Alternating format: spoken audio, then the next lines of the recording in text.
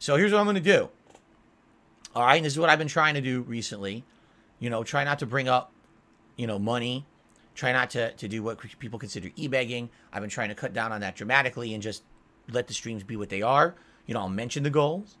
I'll bring it up if, you know, it's something that we're near, like, oh, we're about to hit a goal or whatever. But outside of that, I just let it be and I don't harp on it, right? Now we got someone who just gave me advice. They said, if anyone tries to goad you into talking about those fucking memes, just ignore them completely. I'm gonna, I'm, I'm literally gonna take this advice.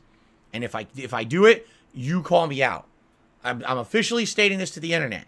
If you see me falling back into those bad practices, call me out and say, you're doing it, Phil, please relax. And that's, that's exactly how you should say, Phil, please relax. And if you say relax, I probably will relax. Because I, when you say stuff like that, then I realize I'm getting too worked up about bullshit. I'm like, you know what? They're right.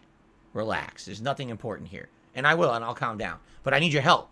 Because again, I'm just a flawed human, and I need help to, to figure, realize when I'm going a little bit too much, you know, one direction or whatever. Um, as you can see, we're at $35 in tips with still two hours of gameplay to go.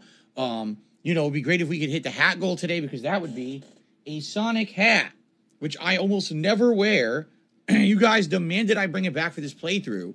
So I'm wearing my Sonic shirt. I'm ready with the Sonic hat.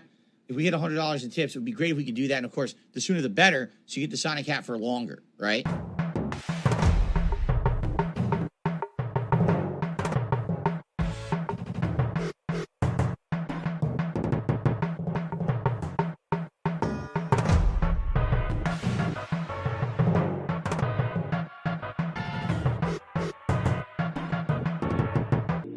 do something else with your worthless peon life. You literally serve this planet zero purpose. You're sucking up ozone, you're sucking up oxygen,